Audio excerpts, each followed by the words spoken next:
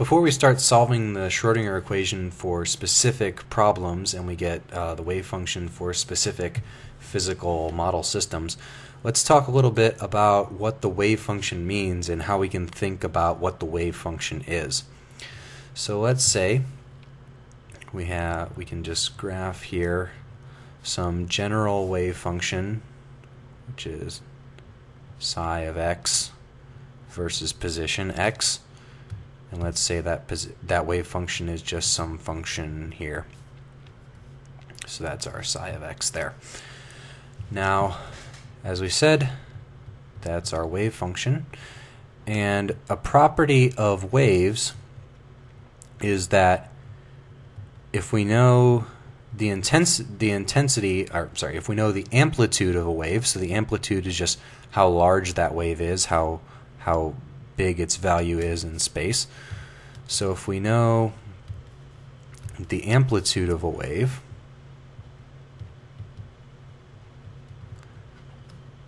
then we can we have a way for going about what the intensity of that wave is so the intensity of a wave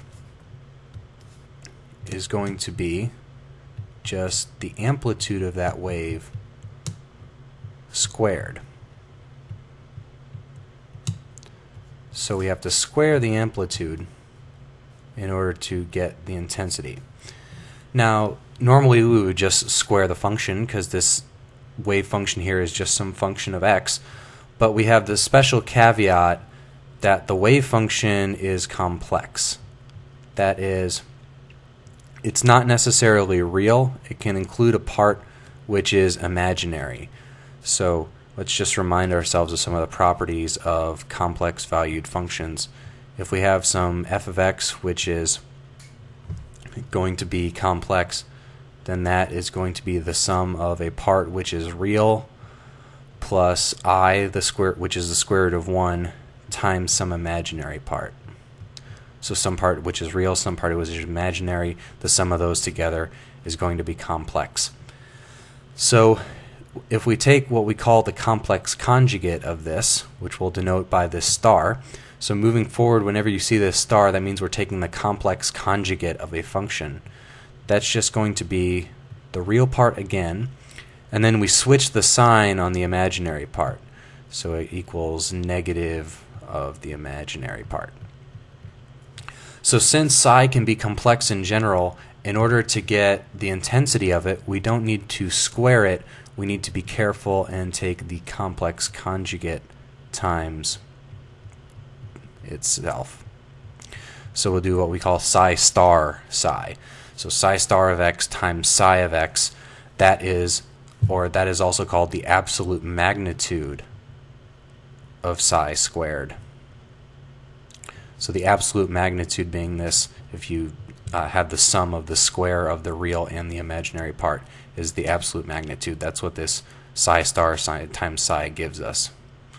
Okay, so let's pretend we have some psi star psi here, which I'll denote in purple here.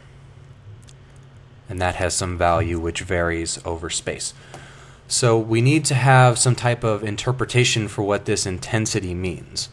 So the German physicist Max Born proposed an interpretation, which we call the Born interpretation, of what the value of the wave function means.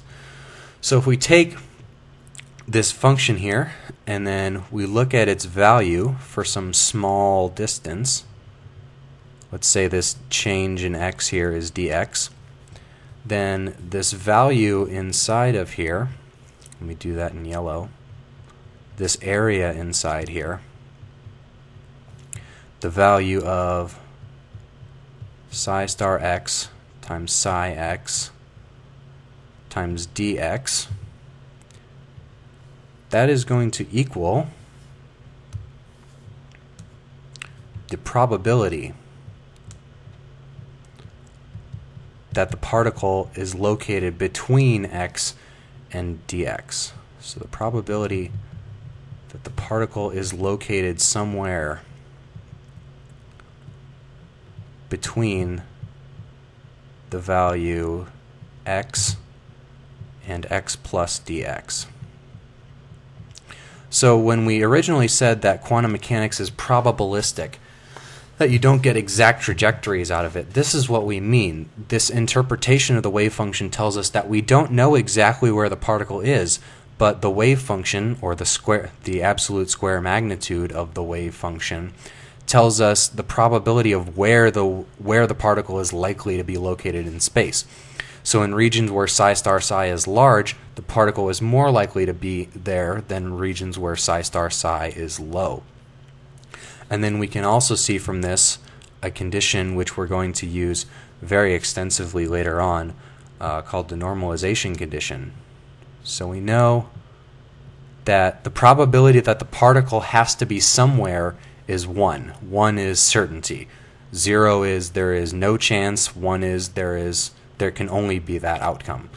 So if we look at the total density going for from minus infinity to plus infinity, the entire range of x, if we look at the value of psi star x, psi x, over the entire range of where x can possibly be, we know that has to be 1 because we know x has to be somewhere. And this gives us a condition for that. And this, uh, you'll hear talked about a lot, is called normalization. So this will be called the normalization condition. Whenever the wave function obeys uh, this condition here, it is said to be normalized.